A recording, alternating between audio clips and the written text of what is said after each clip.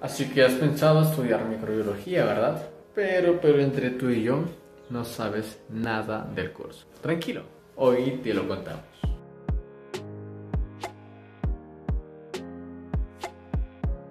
Microbiología es un curso parte de todas las ciencias básicas que aprenderás en tu carrera como médico. Y es importante porque te va a ayudar a entender cómo se dan las enfermedades transmisibles o los principales microorganismos que causan esas enfermedades ya sea bacterias, ya sea virus, ya sea hongos. Hay que entender que todos los podemos contagiar de una persona a otra, de un animal a nosotros. Por eso se llaman enfermedades transmisibles.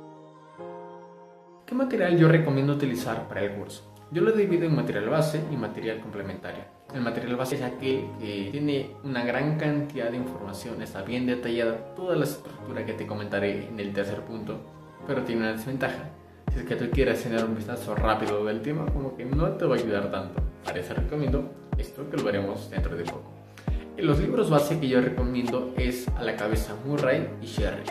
Este último me gusta más por las imágenes que presenta, imágenes didácticas que te van a permitir entender la patogenia de la enfermedad, término que veremos más adelante. Y también me recomiendo porque están bien detallados ambos libros específicamente.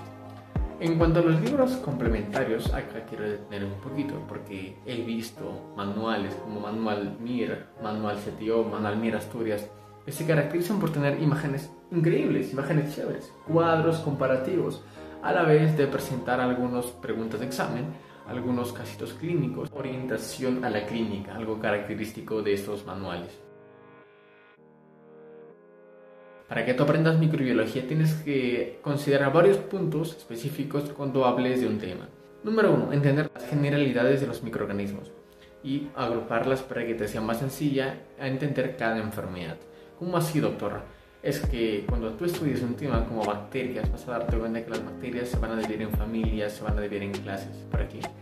Y por otro lado vas a entender también que esas familias tienen características en común. Entonces, cuando tú estudias, por ejemplo, la morfología bacteriana, todas las bacterias que tengan una forma pueden tener algo en común.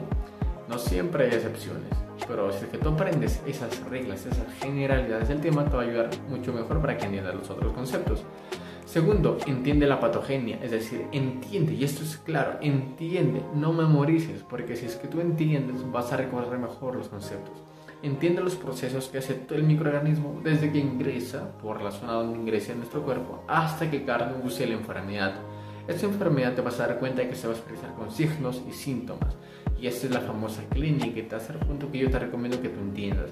Entiende cómo el microorganismo te causa fiebre, cómo el microorganismo te causa, por ejemplo, eh, no sé, un resfriado o te causa parálisis, suponiendo que te infectes con tetán. Entonces, entiende los procesos. Hay otros puntos complementarios como la epidemiología, que te va a ayudar a entender cuál es la población más afectada, eh, la prevalencia, esos conceptos. Y otros dos puntos que también vas a ver en, este curso es la forma en la que tú vas a diagnosticar la enfermedad y cómo vas a tratarla.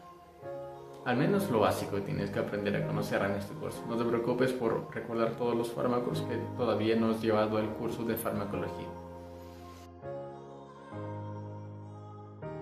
Mi consejo para que aprendas microbiología es que entiendas el porqué del curso. ¿Por qué es importante? Porque si es que tú entras a micro y, no sabes eh, cuál es la razón del curso, pues al final no le vas a encontrar un sentido.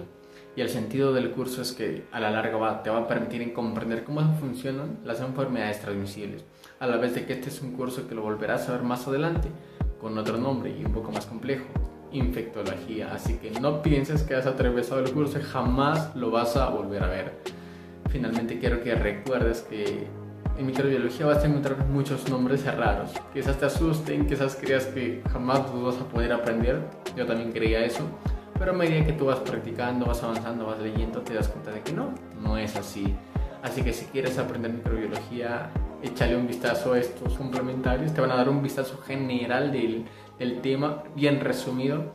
Y después ve tu libro base y complementa la información. Y si quieres un nuevo vídeo de cómo aprender otros cursos, pues acá tienes nuestra lista de reproducción. Hasta entonces, nos vemos en un próximo vídeo.